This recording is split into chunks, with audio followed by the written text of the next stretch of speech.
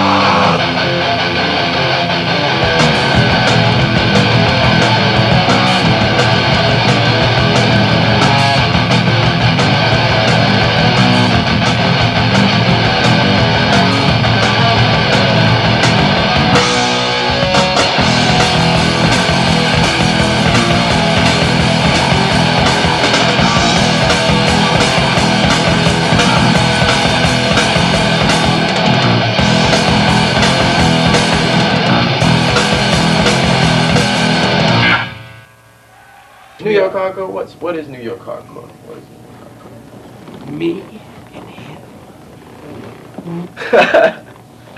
I grew up around Guidos and kids like that and Cousins and Shit, I was the only white heavy kid metal in my kids. neighborhood. and I was totally always getting beat up and always thrown around and, and I was rejected from that whole little society there. They couldn't accept me for what I was. So we And I- built our own. I found I found this clique of people that I, I got along with. We were people that you know that that strived for different things. And the kids that I was growing up with that were abusing me and beating me up now work at like offices or in supermarkets and or they're all they fucking, have- or they're all Murphy's Law fans. back 1982, 83, it was like I said before, like a family. It was a life. It was like everybody's together. We were pretty much very. It was a very poor way of living.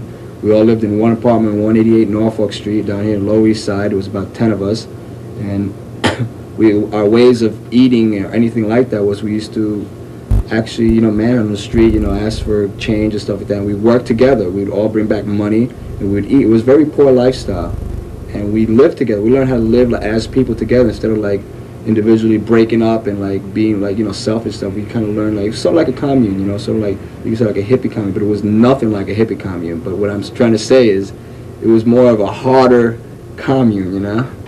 We're gonna be doing a lot of stuff for my first album, an album called Victim in Pain. This song here is called Victim in Pain.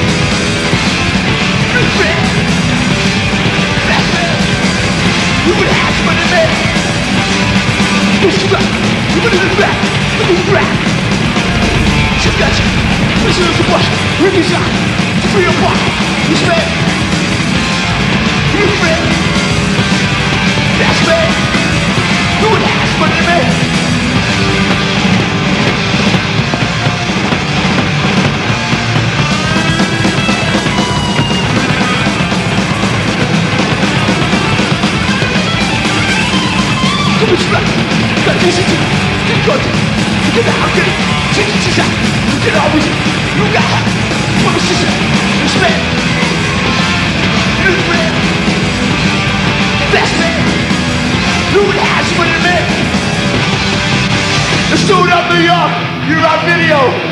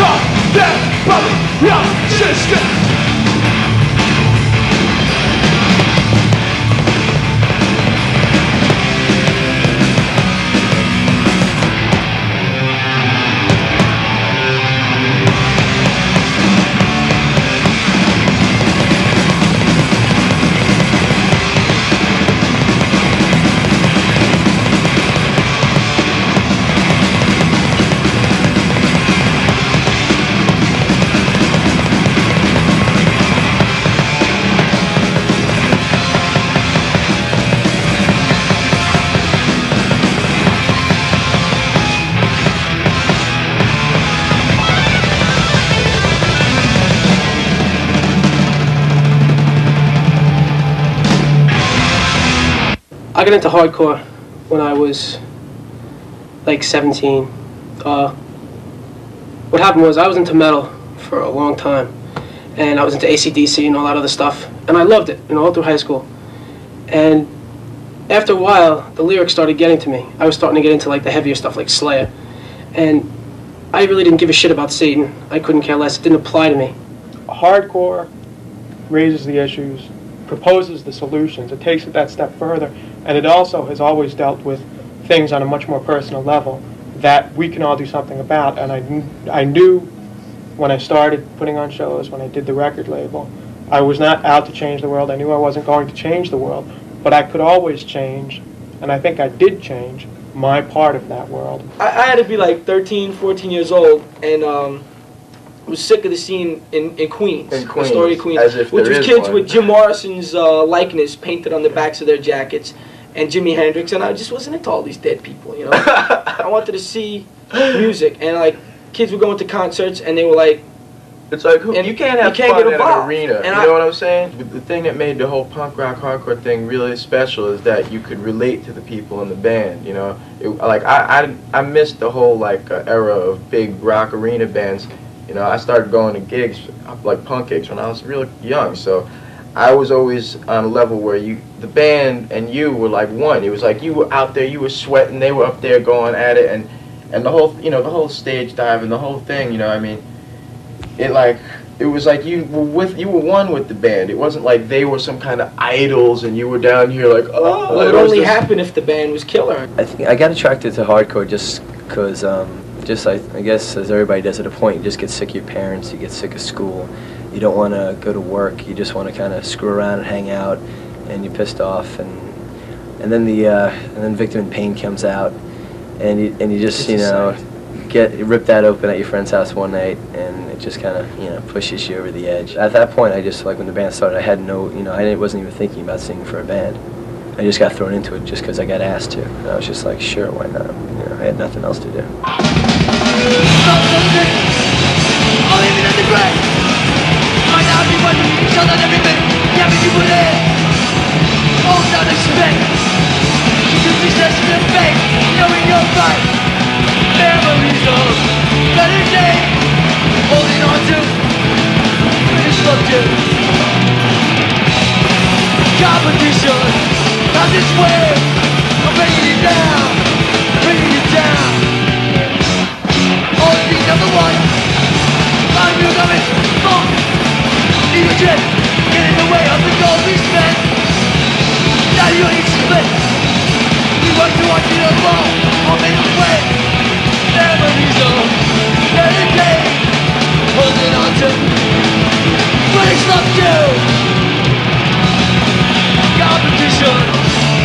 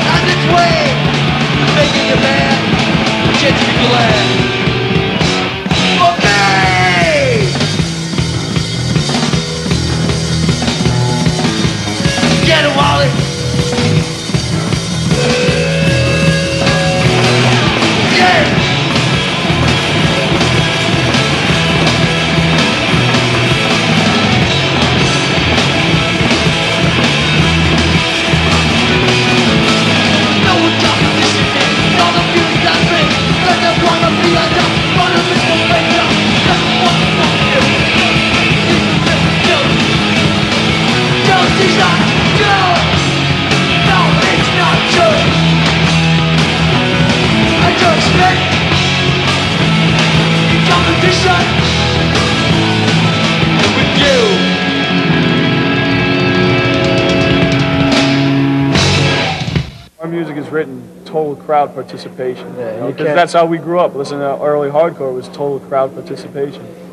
You know, pile on, sing along, all that stuff. That's your outlet. I mean, you can't, you can't. It kind of dulls the energy when uh, you have a six-foot barricade from the stage to the audience. All right, there's like four or five different generic types of slam dancing.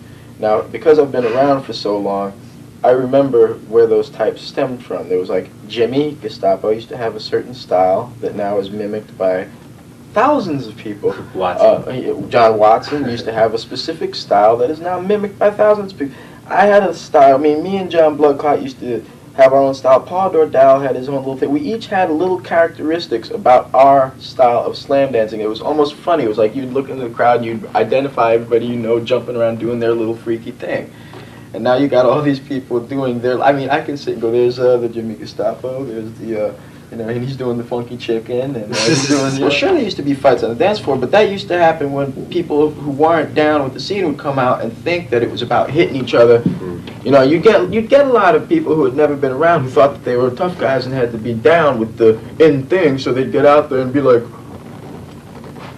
you know, and eventually get the shit beat out of them because they'd hit the wrong person. You know. You let out all your frustrations. If you were fucking happy, you got on a dance floor and you danced like a nut. It was the best. It's the best thing. You go to a Chili Peppers gig now and you see this circular, you know, pit thing. You know, like Yeah. from what I remember, this guy Watson. You know, everybody would be doing their thing, and it was this one dude Watson who was running around around everybody else. And then one day somebody followed him. The next thing you know, there was four people following him. And then the next And you know, years later, and now the with the Chili Peppers, and he don't even go to hardcore shows anymore. It is a boys' club thing now. It's like these half-naked, bald, sweaty guys, which girls I'm sure would love. You girls love to watch half-naked, bald, sweaty guys go grind on each other. But in the reality, when there was pogoing and the stimulators and skanking, we did it all together. Girls were there. Uh, I love you know, I love to dance with girls. You know, I love girls are cool, and it's a cool thing. Actually, I never did get hurt in hardcore. I mean, believe it or not, never taking pictures. I did get hurt once though. I was shooting the Cycle Sluts from Hell, not even hardcore band, at the Ritz, and I mean, I just didn't expect anyone to be dancing around, so I wasn't, you know, had all my eyes open everywhere, and I got kicked in the back of the head, and I had to get stitches right here. But I don't know, hardcore's not dangerous compared to everything else. I don't know.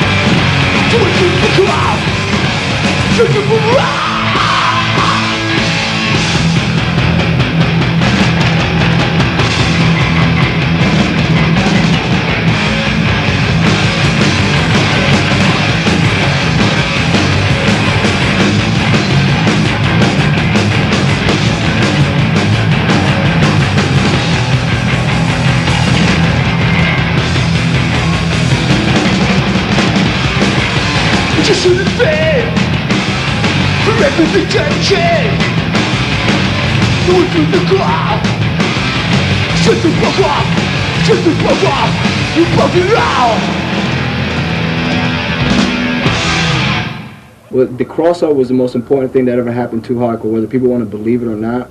Just when it was starting to get a little bit boring, because everybody was playing the same three chords back and forth and every other way, we broke into that, you know. And at the same time, it was people, the metal kids were breaking into hardcore, and I saw them breaking in and liking what we play, so I wanted to try what what they're playing, and I got a kind of like a good cross between both of them, and I liked it. I enjoyed watching bands like Carnivore. I enjoyed watching Whiplash, and you know later on Slayer, Metallica. Metallica, You know, like the real big ones. There's a riff on the first Metallica album. It sounds just like a Bad Brains riff. I remember going, "Damn, this just sounds like a bunch of long hair dudes trying to play hardcore." But It's really That's stiff. exactly what I said. It didn't have, the, like I said, you know, like we were like But I gotta really admit, into the groove thing. They are one of my favorite bands Yeah, now, though. well, I now. mean, the- I- initially I felt like you know kind of like what the fuck you know those people got long hair so they get picked up by industry faster than us or something because they're uh, but that was just you know whatever. After a while I did start to groove I, I mean you know I I used to hate Slayer. I like Slayer now. The thing you gotta understand is most of these bands, I mean, some of them might believe in their lyrics and all that, but most of these bands just write that for shock value to go along with the, the power of the music, the brutality of the music. The lyrics are brutal like that just to, to paint a picture, you know, to give you that full that full range, that total viciousness. When you sing about stuff that was that's like fantasy, if people are into that, fine. But if they're not into it, it's meaningless. Whereas if you're singing realistic lyrics, it's an inescapable fact you're singing about, and has a lot more impact and makes the whole package of the music and the lyrics more. I don't know, impact like. Uh, Dramatic? Yeah. It's also a lot more satisfying to do. I mean, I'd, I'd rather be doing what we're doing and sing, you know, writing lyrics and singing about what we do than saying, "Oh, yes, I am a Viking. I sail the stormy seas." Yeah, I All that brand upside nonsense. down crosses my forehead. or Satan. maybe tho- those like 5,000 kids who were, at- who were at a Slayer show chanting "Kill, Kill." Maybe they need a little kick in the ass and realize that you know, singing about raping corpses, you know, nothing, t- taking nothing away from Slayer. They are one brutal band, but uh, singing about raping corpses and all that, yeah, how far is that going to get you in life? You know, I'm not saying that our lyrics are like the most inspiring, this and that. It's just what we go through every day. I mean, come to a hardcore show and see some reality for once in your lives. If you fucking let people take over the scene with their stupid mindless violence, you ain't got no more small shows. You got barricades, you got high door prices, and that's what happens if you don't watch out what's going on.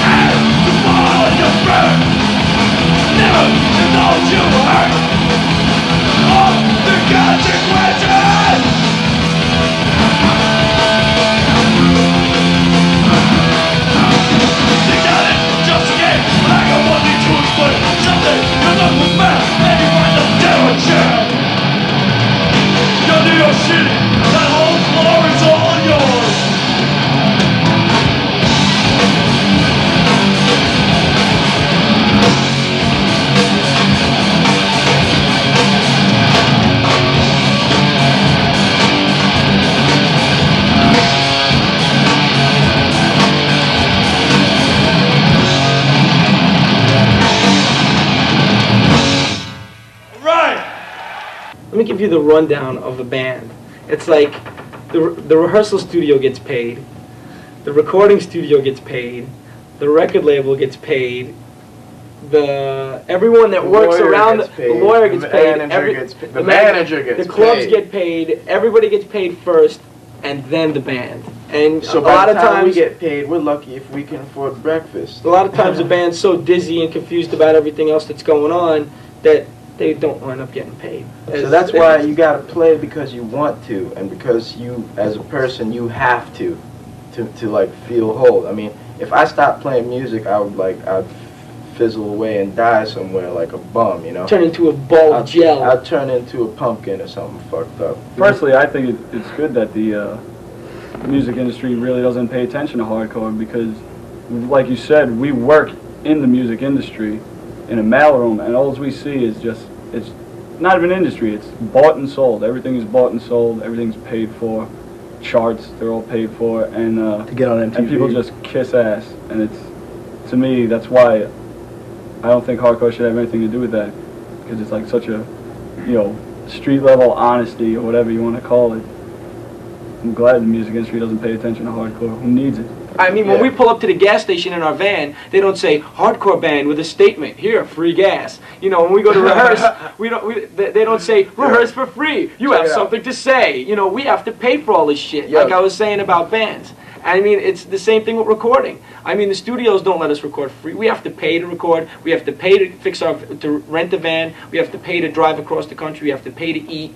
You know, we have to pay for our T-shirts. We have to pay. We have to lay money out for all this shit. And all, all the times that Murphy's Law had to do this, we had to do this off of jobs that we've we've carried. I'm still, you know, I work two jobs still, and and plus try to go to school and and get my shit together, and it's fucking hard. And that's just to travel As across far- the country. And when we that- leave for tour, we all quit our jobs. We all quit our lives, move out of our fucking apartments just to play to you little punk bastards. And that, you bastards should appreciate this shit. prick. I'm serious, man. You guys should appreciate what Yo, we do. see, I mean, the, And it's like we don't make money off out. of this. We, get by. If you're a metal band, you get respect.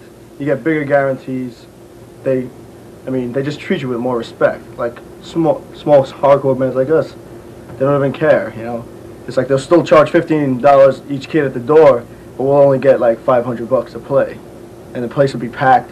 And then some nights when the metal band plays, you know, it'll be fifteen bucks to get in. The metal band's getting five thousand dollars, and there'll be fifteen kids inside. You know, and they still they always give like the metal bands just because it says metal. They give them more respect. I mean, it's a hard job. I mean, did you ever sit down and have to write an album? Did you ever go on tour? You know, things like that. It's really hard, but it's something we love to do. So at least we have a job that we like to do. Because if I didn't have this, I'd be sitting behind a desk doing some shit job with some stupid fucking suit on, which I would, you know, would hate. You know, this is what I love to do. well, I'm not going to get into record company names and stuff, but it is kind of sad that the music starts at ground level, and when it gets up to top level, it seems like everybody is uh, sucking the blood, you know, right out of you. It's like everybody in the industry is like a vampire, and they kind of forget that that it's for the kids, it's by the kids. But you're forgetting that the industry is an industry, and, and Yeah. an industry must be industrious, such as, you know, our capitalist government must have capital. Yeah. It's all about money. And see, what we're, we're not about the money aspect of it, we're about the music aspect of it. And we like to make survival music. is, you know, survival is necessary. What sucks is that we like to make music, and now all of a sudden this music is making money. And we're not seeing it, and we're don't, pissed. We, we don't know anything about business, and we don't know anything about the music industry. We know about making music and making kids happy, and making kids go off and getting that reaction off of them. And It's getting, like I know when I walk off a stage, you know, I feel good, man. You know, like I, I feel like you know, it, it feels great. You, you know, when I walk up You can't it's not like describe I feel good. I can't even I mean, you talk. I'm can't describe it. It's like a feeling that you can't really describe. It's like you just put every ounce of energy and everything, all your heart, everything, whether it's anger or positive energy, you know, joy, whatever. It's like you have just emotionally and physically drained yourself. Ready? This one's new.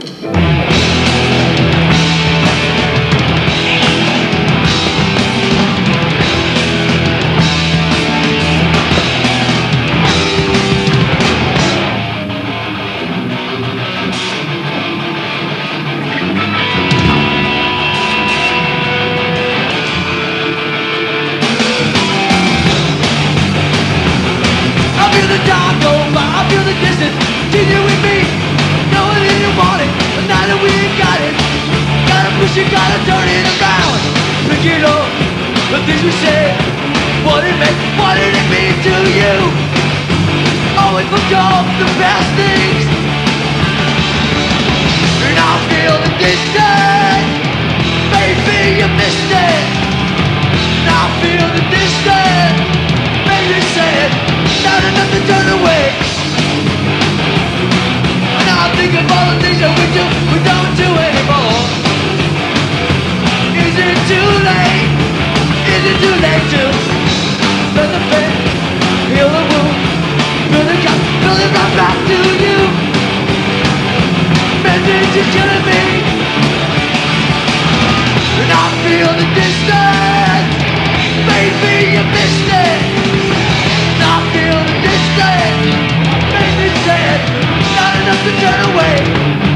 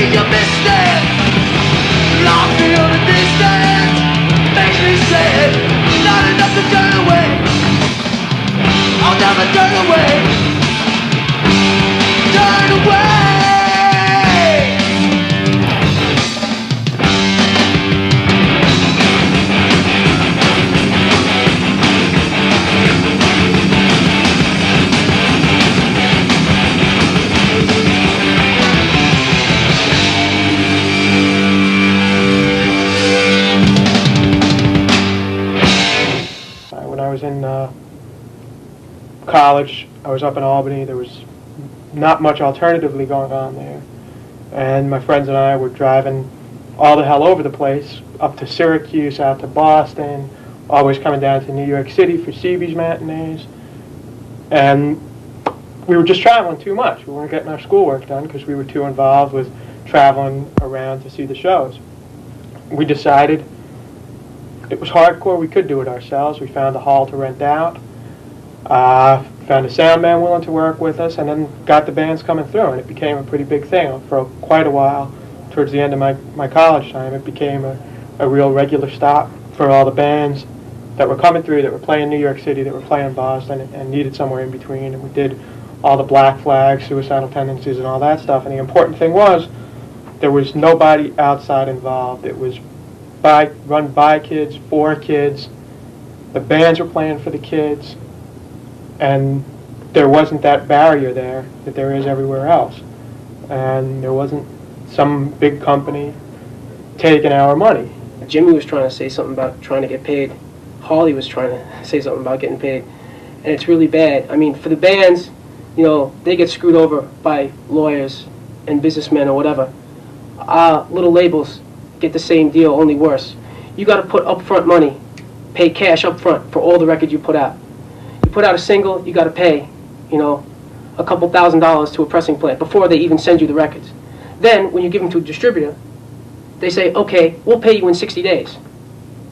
Then what happens is they sell out in 30 days, and then they say, oh, well, send us more. Well, how the fuck can I get more unless somebody gives me money to press it again? It's like, I don't have an endless wealth of cash. You know, the capital's not there for me to do anything with. It was us doing it because we wanted to do it, because we really cared about, and we still do care about, the integrity of the music. And that's when I was, had, had left, finished college, I was in law school, and still wanted to keep a finger in what was happening, and that's when a friend and I started a record label called Combined Effort, and for the same reason. Um, there were a lot of bands that wanted to do stuff that didn't want to be with the bigger record labels and make some more money for someone else like this video is doing. But, uh, you know, and that, that, that's a choice for bands to make, whether they want to. Uh, it, it seems to be very often justified by getting larger exposure, um, getting their message across to more people. It's not upsetting, but when you put your heart and your soul into something and you don't get nothing back, you know, it's depressing and you don't want to do it anymore. So when people say, oh, big business is bad or, or making money is bad, that's bullshit. Because if I didn't have money, if I don't have money to put out records, I also don't have money to eat. If you're really into what you're doing, what you want to do is spread your message and play your music to as many people as, as you can, and do it for as long as you can. Make a job out of it, a life out of it. But it, That's I mean, what we're trying to do. Wouldn't Take you it as far as we can. Wouldn't you rather put on the radio and listen to Agnostic Front, Sick of It All, Gorilla Biscuits? You know, wouldn't you rather listen to that than to what you listen to now?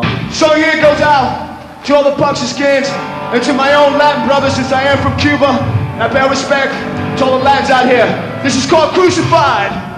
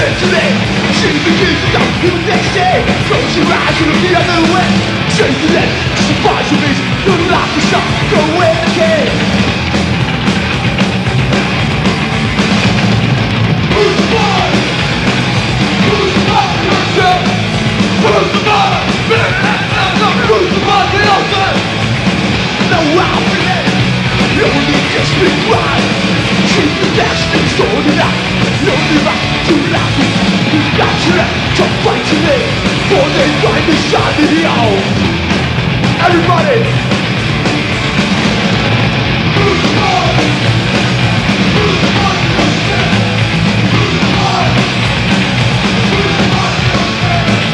Well, the truck so easy to find And where the alive From myself, now to cross Something that I can It's your fault, you ruined our life And where the was, you survive You're the ones who commit your crime But it's always lost you to the time Who's the population? Who's the population? Who's the population? Who's the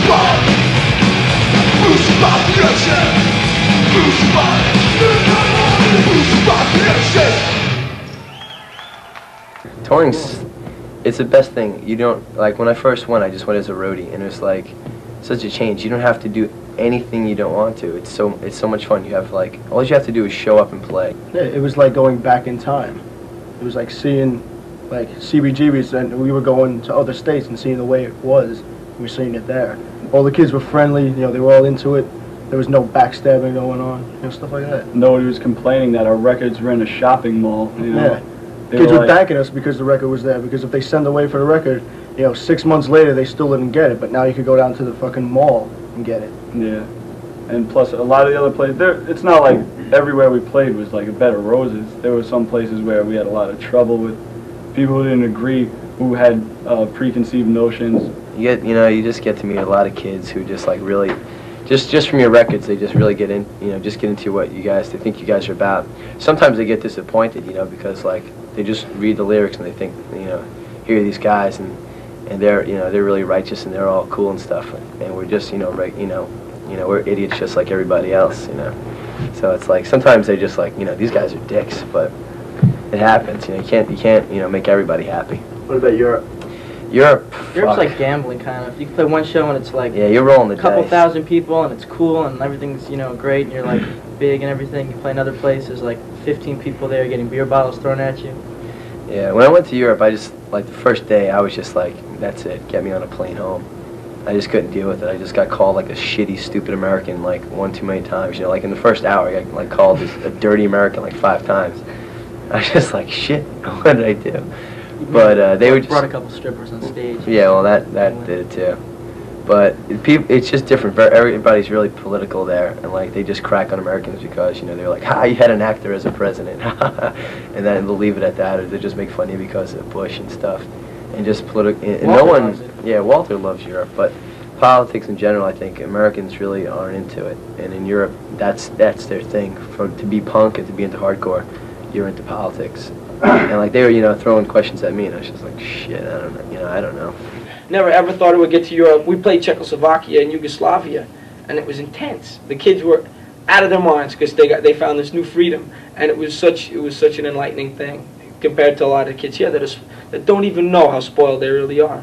I mean, here here we were playing to places where kids had to pay.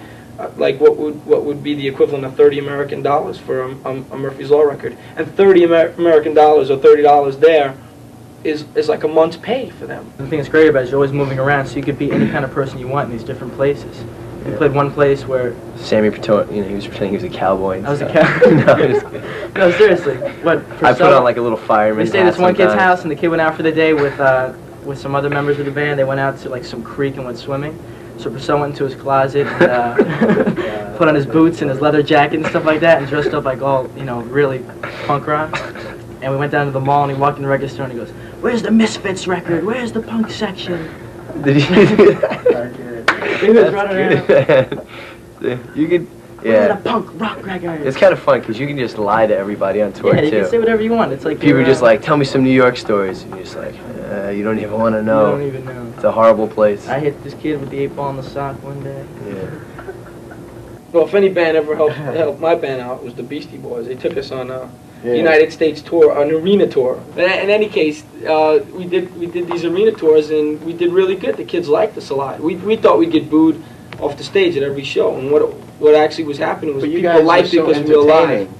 you're- And but, you're- but it was beyond that because after the show we'd get off stage and go into the crowd and hang out with the kids, and the kids bugged on that because they they couldn't comprehend that here they are in an arena and here's the band sitting next to them, hanging out with them and talking with them, and we did we did really good on that. I really appreciate that they did that for us. When you go on tour and everything, you learn a lot of stuff that you would never have the opportunity to learn. Just in dealing with people, just experiences that make you grow. You know, like you don't think like sleeping in a squat, you know, will help you out ever. But it makes you, you know, realize that you can get through things and that like you're not, you know, you can survive and you can just have a good time doing anything. You know, I mean, I could have fun, you know, doing anything.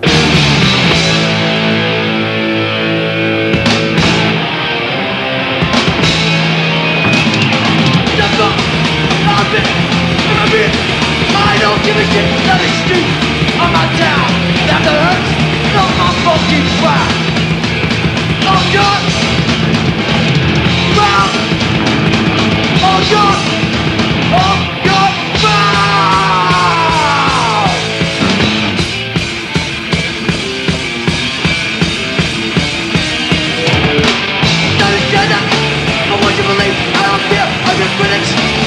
you need. Listen from your blood, if that you don't understand. Be yourself and be the best you can. Step back. Moment. Easy way. Be something. Not be saying thing. Onto yourself. Push coming down. Go for the person. Hold your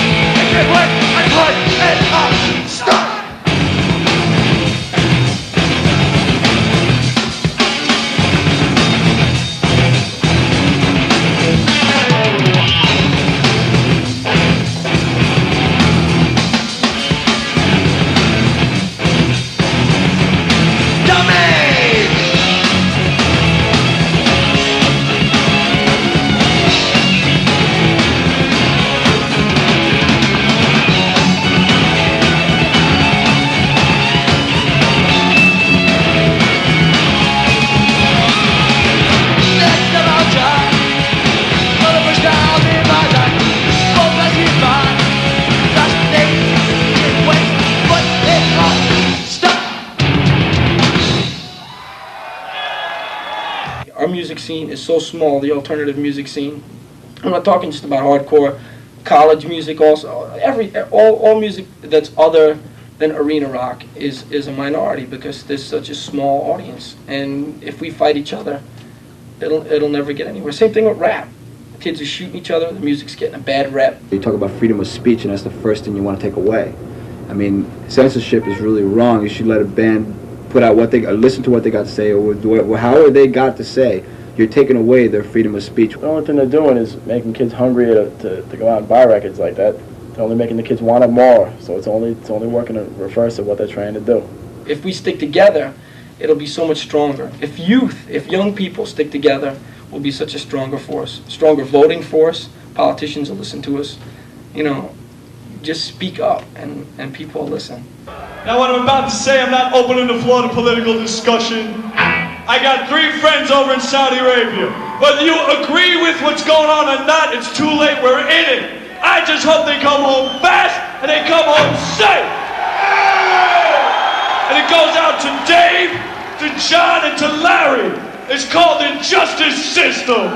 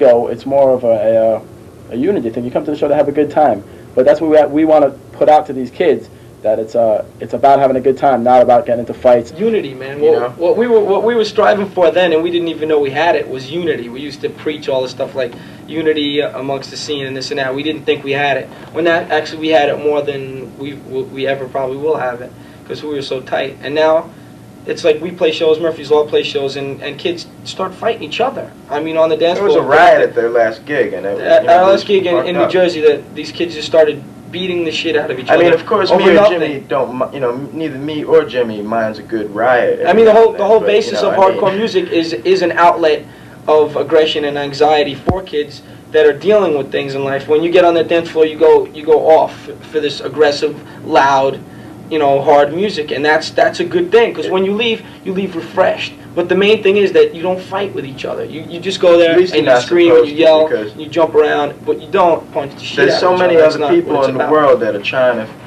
fight us. If kids would behave themselves at shows instead of bringing knives and shit to the things, you wouldn't have to have barricades or bouncers. But this is the way it is now. And these these people blame us for this, which is ridiculous because it, it happened years before we you know we Really? came into the scene. They're blaming us for the, the violence that you know, happens at shows because of our lyrics. I mean, that's just like saying Ozzy Osbourne killed those kids with his lyrics. Well, the fact that there is no matinees because people themselves have destroyed it. Because it's gotten to a limit. Like that. I was at the last matinee where Killing Time broke up, and, and there was a fight that beat up the bouncer. Yeah, you get these kids coming in like gang style, stuff and like they, start trouble. It ruins And- the whole thing. Well, it used to be the best scene I've ever seen in my life. New York Hardcore was the best.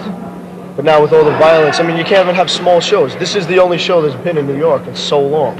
And you, if you're a small band, you can't play the Ritz. You know, what's where's the growth going to be now for new bands? Were they going to play the Ritz every week? You can't. There's no CBGB matinees or anything like that. So it kind of fucks everything up for like the new kids to keep the scene going. You know, if you have no place to play, then the scene won't grow. I mean, like, like, I used to work CBGBs. Everything was kept cool. Me, Jimmy Gestapo, and Harley kept everything cool. Anybody went out of control, we make sure, you know, we didn't beat them. No, we just make sure You it was know, there's cool. also the older people, like he just mentioned. Those people, you know, they, they, their lives move on. I'm not saying that they're not into it anymore, but they go and they do they do other things, and they can't be there all the time for every show. So what happens is these new kids come in, and there's no one to police it, and they just take over and run rampant, and you know, things like that get out of hand. A lot of people looking to us as a band to like bring back the old hardcore style, and which is what we hope to do. And I'm telling you right now, if we don't, if they, we can't bring it back, we're gonna get together with some of the older bands and we're gonna take it back. Basically, I hate to say it, but stop the violence. That's what's going on now. Yeah, I So much hate to say that too, but I guess I'll have We to. have uh, to stop the violence. We gotta stop the violence.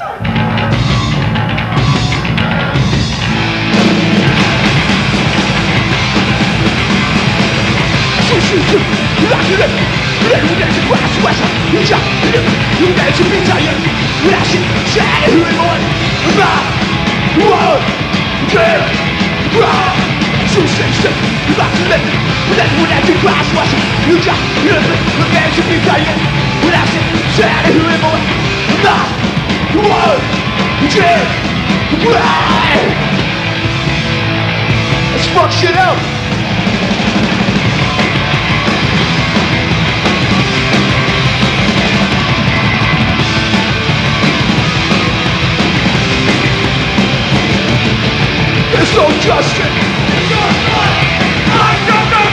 For! There's no justice! No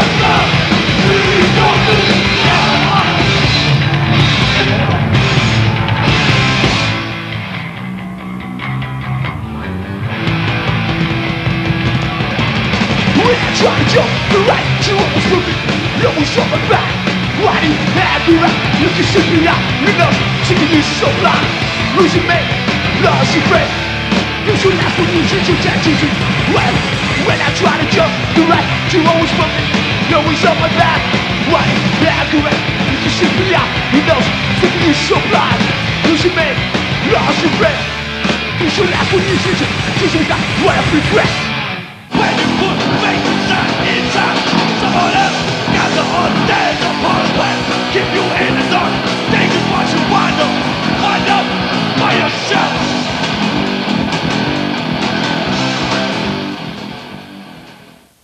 Okay, Um, Gorilla Biscuit started, uh, I think about uh, late, uh, late '85, and we started off just how everybody did.